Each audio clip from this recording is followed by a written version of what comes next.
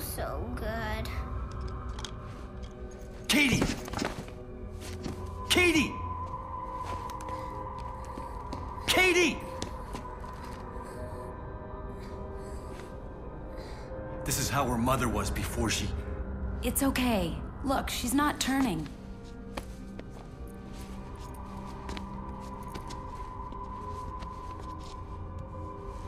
This happened to my sister once. It's that damn drug. Sister? She used to have to deal with Zombrex too. Used to. She couldn't take it anymore. Everything in her life revolving around that drug. One day she just let herself. I'm sorry. There's talk of finding a cure someday. Isabella Keyes was looking for it. Wasn't she one of the terrorists in Willamette? No, her brother was the terrorist.